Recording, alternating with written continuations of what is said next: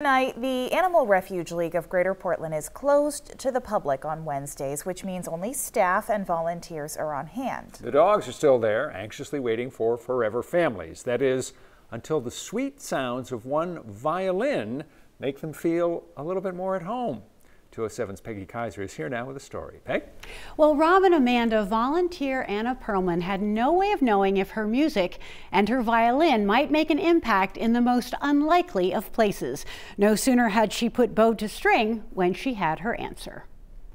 A day at the Animal Refuge League of Greater Portland normally looks and sounds like this. And it's a constant parade of people through there.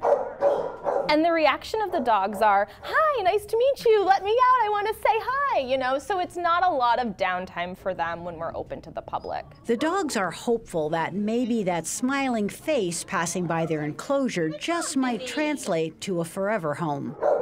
A shelter environment is naturally more stressful for an animal. It's not a living room with a couch and a person to snuggle. Um, we love each of them like they're our own, but this is not a substitute for a home. Life in the shelter is anything but peaceful. But on Wednesdays, things around here have taken on an entirely different tone.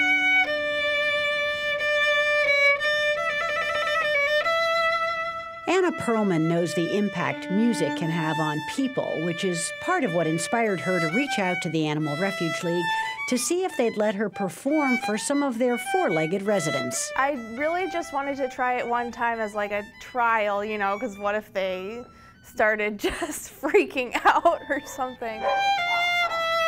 And with that, she showed up with her instrument in hand. There are four different corridors in there. And so I first started and I would move around a little just to see, mostly so that all the dogs could see what that noise was. At first, it was hardly music to the pup's ears, but that did not deter Anna. I didn't know what to expect, but I do know animals res respond really well to music. This gives them a little bit of peace and quiet on a day where we're not open to the public, um, so it's not a constant stream of visitors. It's a moment of pure quiet in there for them, which just is, helps, I think, enable them to, to shut their minds off and just and sleep and rest.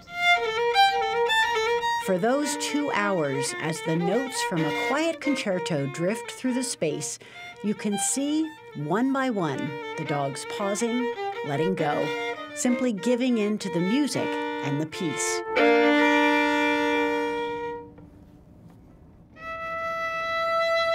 As the shelter violinist, Anna plays for a new audience each week. Most dogs are not here too long before they find their forever home. But Amber, well, Amber's a different story. Everywhere I moved, she was the only one left barking. Finally, I just set up right in front of her and played, and she barked and barked. and like probably 10 minutes in, the barks got kind of um, fewer and farther between, and she eventually actually just curled up and went to sleep. I think for long-term dogs like Amber, who she sits in front of and connects with, it's hugely impactful for a dog like that. Amber's been with us several months looking for a home. Dogs learn to predict things.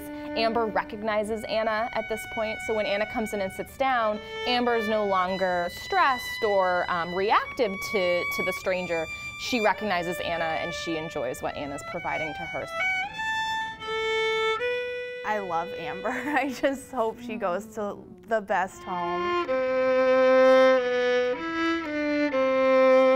It inspires me to play with more emotion and more heart because I know that it just directly affects them and you can't always tell what people are thinking but the dogs are, it's pretty obvious when they finally just like lay down in their beds and curl up and go to sleep.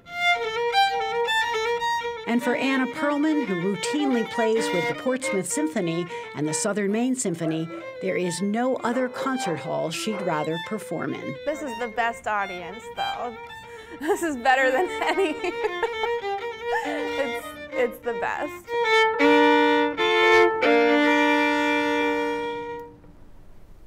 Anna's beautiful music simply set everyone, dogs and people, at ease. Now, I thought I was going to cover a, a, story that was just about the generosity of a young woman giving her time and talent to comfort the dogs. What I witnessed instead was almost magical. You could literally see the dogs and the people that were there just completely relaxed. The dogs just let go of all tension. It was amazing.